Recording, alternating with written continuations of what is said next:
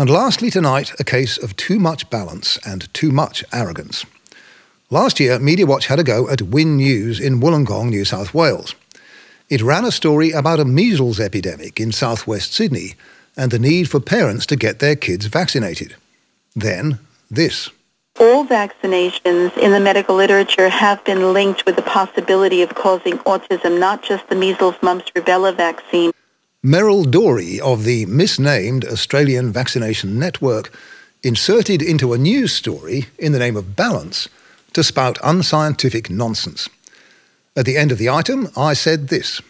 To put it bluntly, there's evidence and there's bull dust. It's a journalist's job to distinguish between them, not to sit on the fence and bleat balance, especially when people's health is at risk. That's my view. We'll let you know what the ACMA rules sometime next year. Well, the ACMA did rule last week. It found that WIN-TV had breached the commercial TV code of practice because it failed to broadcast factual material accurately.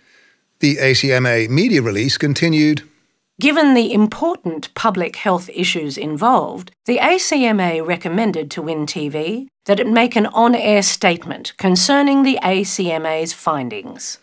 But WIN-TV has refused, and there's nothing more the ACMA can do. It's been asking for years for the power to order on-air corrections.